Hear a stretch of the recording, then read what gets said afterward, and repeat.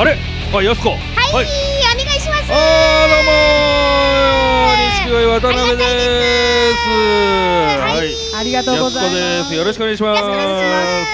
いや渡辺さん、はい。はいはいあの長谷川さんがいらっしゃらないんですが。あ、正則さんはさっきローラーコースターに並んでましたけどね。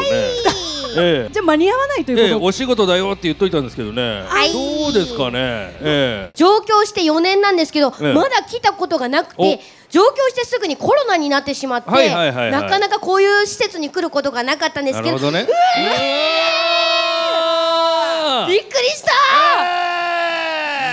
出るタイミング。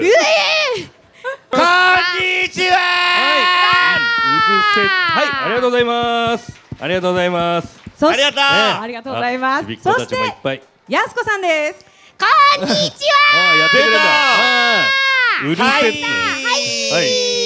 僕はね、えー、夜の飲み屋行く前の同伴にここに立ち寄りまして、えーローラーコースターに乗ってそれからお店に行きたいなとは思ありがとうございます。あのー、お化け屋敷を睨んでますね。睨んでる。睨んでる？睨んでるってなんだ、お化け屋敷に注目してますよ。なるほどね、素晴らしい。あの、はいはいはい実はですね7月20日にお化け屋敷がリニューアルオープンしました。そうリニューアルおめでとうございます、まだ。なんだ。出来たてほやほやでございます、はいはいうわお化け屋敷苦手だなああ苦手。はい。うんマネージャーさんとかにお化け屋敷とかジェットコースター入れないでくださいって言ってるんですけどめちゃくちゃ入れてきやがります。パノラマ時間旅行はなんか確か過去から現在までを見ることができるって言って、はい。それはあのたかしと来たいなって思います。おー。あそう。え俺と？たかしさん、うん。テレビ局の廊下ですれ違った時に、ん。やすこ綺麗になったなって言ってすれ違ってたんですよ。そこから男として見てます、あらあらあら、はい、ちょっとやだ。は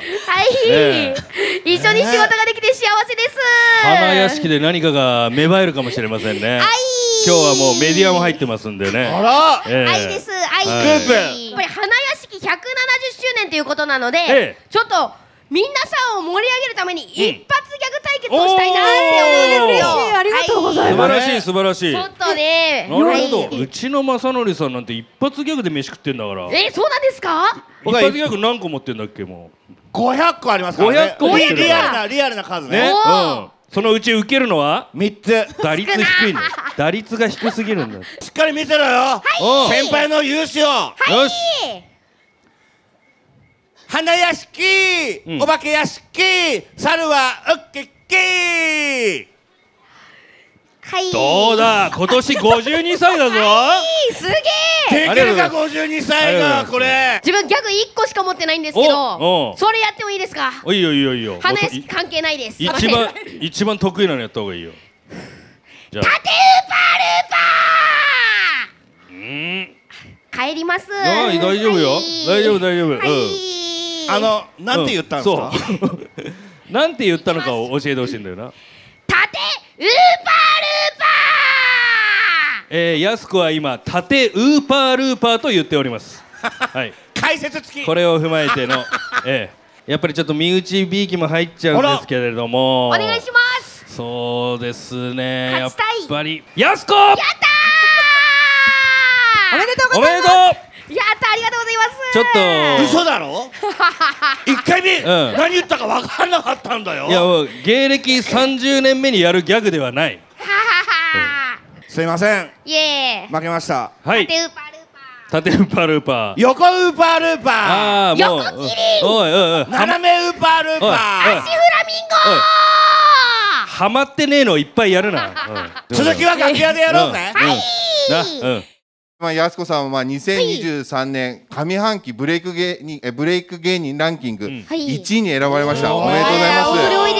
ありがたいです。素晴らしい、はい、売れました。ありがとうございます。売れたねありがたいです。売れたね安く売れたよす。やすこさんあの、はい今お気持ちとしてはいかがでしょう？えーと、嬉しいです。はい、えーと、嬉しいです。うん、うん嬉しいよななんか嬉しいしか出てこねえよなどうしよう。時間はないです。自分が出てるテレビはあんまり怖くて見れないので、はい。あそうなんだありがたいです。んはい。この間焼肉食べたんですよ。焼肉屋さん行ったらあの頼んでないのにフルーツの盛り合わせが出てきおてー。はい売れたなーって思いました。売れたね。はい。売れたね。嬉しかったです。それは何？お店の人のサービスってこと？サービスでいもうやつも見てますって言われて安子だからってことでしょ？はい。素晴らしいな。嬉しかったです。うん。はい。嬉しい嬉しい。あのなんかあのよやす子がよく言うなんか「はい」ってあるじゃないですか、はい。あれってなんかポーズあるんですか？ないです。もう言葉だけ？言葉だけです。あなるほど、はい。そしたらですねあの僕の例えば「こんにちは」ってあるじゃないですか。おあ本当にるね、こうポーズがこういうポーズなんですけど、はい。そうなるとこう今日写真いっぱい撮ったじゃないですか、はい。足がガクガクになんだよね、だからそのポーズは、はい。あんまり辛いポーズじゃない方がいいよ。おじさ。んなるほど。でもまさみさん52歳ですけど自分24歳なので、ね。まだまだこれぐらいだったらいけるかもしれないです、なるほど、はい。あんた安子のお母さんより年上なんだから。年上です。はい。